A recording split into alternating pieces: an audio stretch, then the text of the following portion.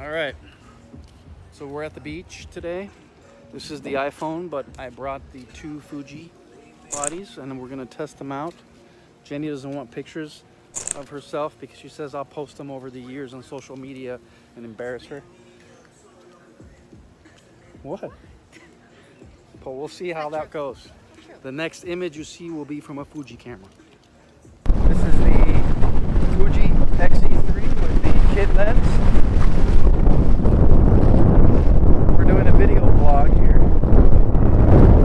There's Jennifer. Woo! It's cold! It's cold.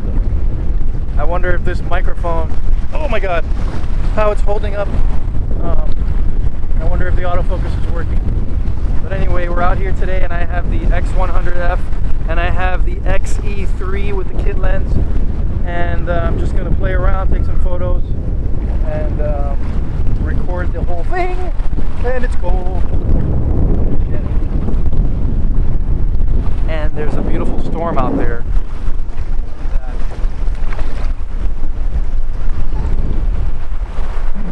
got a polarizer on the lens, which I thought was an ND filter, but it's a polarizer. So I have the uh, camera selecting the aperture and lock the frame rate at 60. Let's see what that looks like. What's the matter? Is it cold?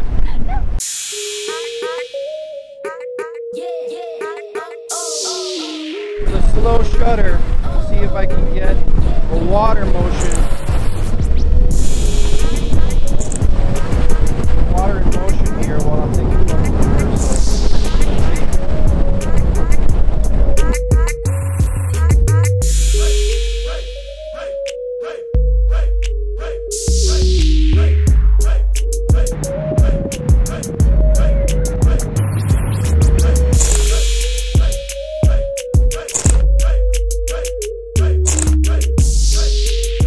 forgot to mention I am shooting in classic chrome today. I've decided to just leave it on that filter setting. Um, see what that looks like because I really like it for photographs. I'm curious to see what it looks like for, for images. So, yeah, classic chrome.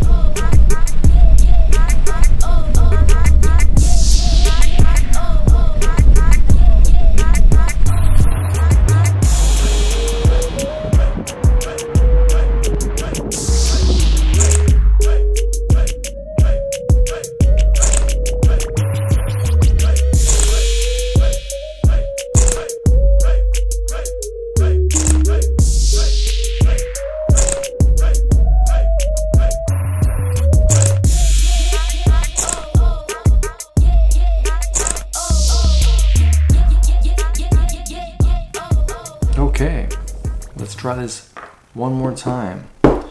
The last time I filmed this, the battery, or actually to say that there was a bunch of chatter coming from the camera, so I'm going to look at my notes real quick to wrap up this beach video.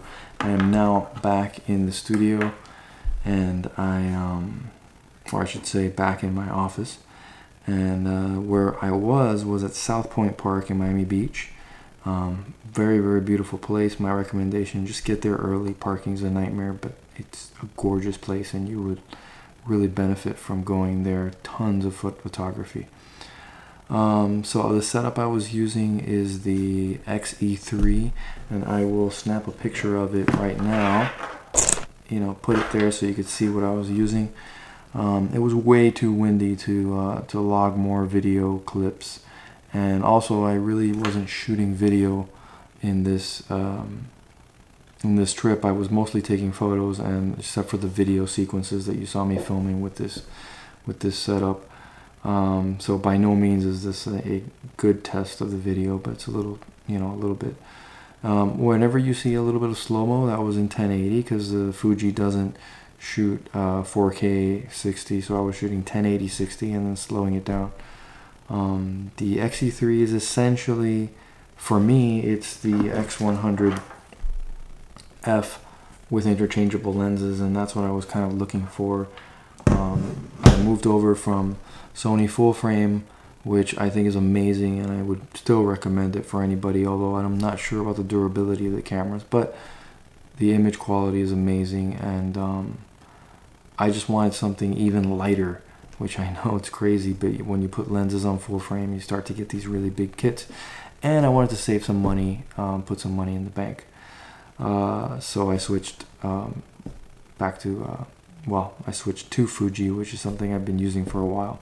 Thanks for watching and have fun out there creating images.